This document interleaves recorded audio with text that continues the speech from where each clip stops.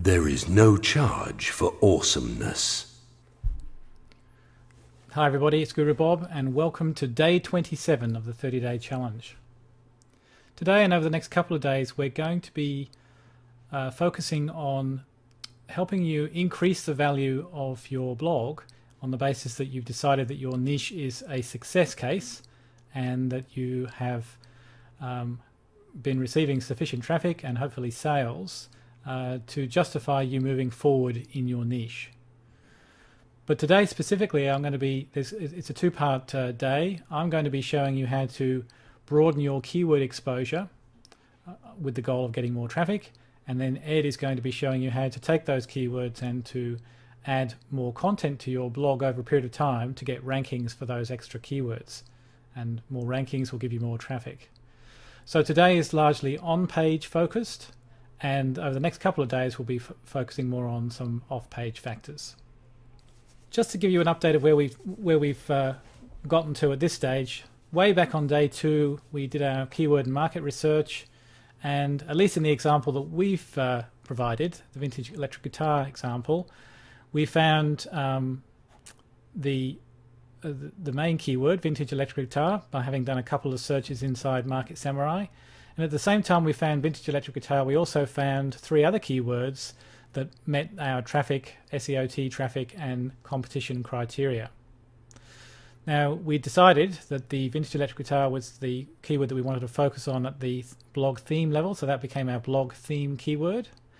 And um, the other keywords, and also vintage electric guitar, became uh, category keywords on the blog. And to this date, our posting has largely been focused around those four keywords. Um, now, what we need to do now is find more keywords um, within these categories that can um, that have traffic potential that we can add uh, create content for or, or or find content for to post on our blog to broaden our exposure to more keywords within this niche. I'm going to head over to um, Market Samurai and show you how, how, how I would do that.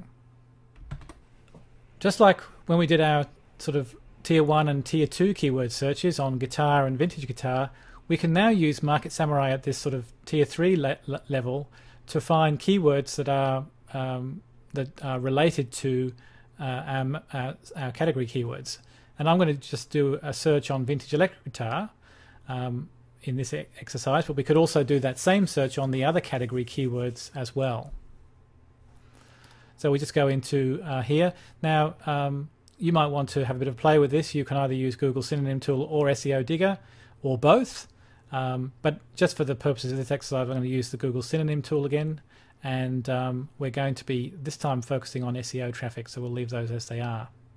Now, I'm using a new version of Market Samurai, uh, 0.64. So along the way there might be a few differences which I'll which I'll point out. Notice that um, we've got a couple of hundred keywords have come back. Uh, notice that I can apply a traffic filter now at the generate uh, keywords level um, to limit this list based on traffic. I've, I've not chosen to do this for this exercise because our main focus is competition rather than traffic, as I'll explain as we go forward. One thing I do recommend that you, that you do, however, is um, before we go to the analyze um, keywords area, is to quite heavily uh, edit this list, just like we did when we were finding keywords for our AdWords exercise. I would suggest you do the same thing here because we don't really want to be um, doing competition analysis on keywords that really aren't related to our niche. Uh, our goal in this exercise is to find long tail and semantic long tail derivative keywords that are very tightly related to our to our you know our category and blog theme keywords. So I'm going to go and limit that list now, and then I'll um, pause the video and I'll come back when I've when I've when I've achieved that. Okay, I've quite heavily filtered through this list, and I've removed um, all of the keywords that really don't uh, don't have a direct relevance to vintage electric guitar, and I've left all the keywords in here that have either mention the word uh, vintage or antique or used guitars or old guitars. Um, and I still have uh, 74 active keywords here. So having edited that list, I can now analyze this list and um, at this stage I'm going to go straight over to the SEO competition and pull back the SEO competition numbers for those um, for those keywords. And that is now complete. Uh, notice I've now got 57 active keywords. Now I've I've ordered this uh, keyword list by uh, the SEOT score, and um, you'll notice that we've got uh, a number of keywords that are greater than um, 100 searches a day, which may indeed, uh, which are different to the ones that we found in our initial search over on day two. So we've got some extra keywords here that might ultimately become um, candidate um, category keywords on the blog. But what we're really interested in in this exercise are keywords, longer tail keywords that have got very low competition numbers, but still got some um, some useful traffic numbers. For instance, vintage Gibson electric guitar here has 60 searches a day potential and only 348 competing pages. Or um, uh, vintage Les Paul guitar, uh, 60 searches a day, 1600 competing pages. So we've now got a, a, number of keywords that are all very low competition. They're all highly related to vintage electric guitar, and uh, they're all keywords that we can post on um, on the blog uh, in order to get uh, ranking for a wider range of keywords and therefore hopefully more traffic. Now, I've only at this stage I've only done this search um, for the keyword vintage electric guitar. I can also use Market Samurai to do that same search on vintage bass guitar, vintage uh, antique guitar, you know, the other category keywords that I had previously identified. And having done that, it's very likely that my list of um, you know, low competition keywords will be even larger. Uh, but for the purposes of this exercise, um, you know, I've just done that on vintage electric guitar. And as I said, we have found other keywords that ultimately might be justified to become category keywords on the blog uh, just by virtue of their traffic potential and the fact they're less than 30,000 competing pages. So we can then um, add uh, a, or take the keyword list that we found using Market Samurai and add those keywords um, under the most appropriate category uh, that they should uh, be posted against on the blog. And you can see because I've done the search as in this exercise on vintage electric guitar, most of those keywords would sit within the vintage electric guitar category. Um, but I did find some others that would be you know quite appropriate to sit within uh, the other categories that already pre-exist on the uh, uh, on the blog.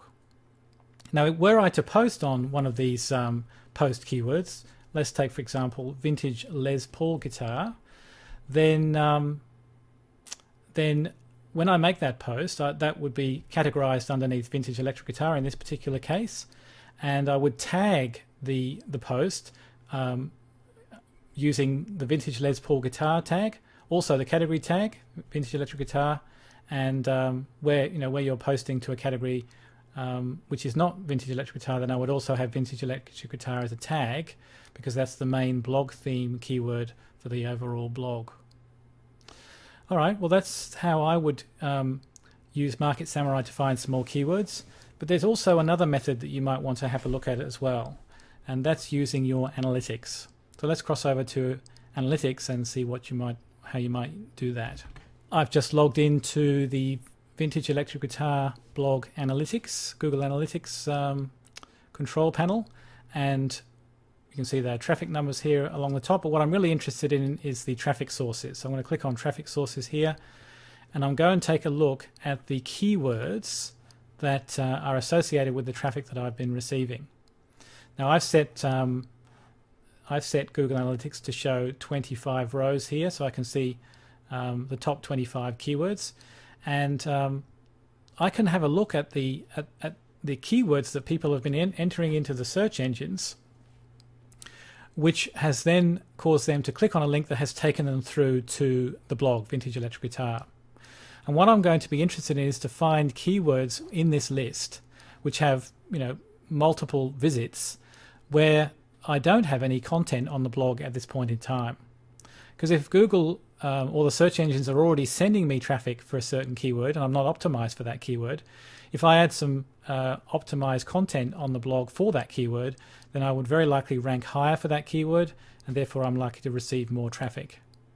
So you can see, for example, that antique guitar has um, I've received seven visits already for that keyword. Now I don't have any uh, content on the post optimized for that at this stage. Um, vintage electric guitars, plural.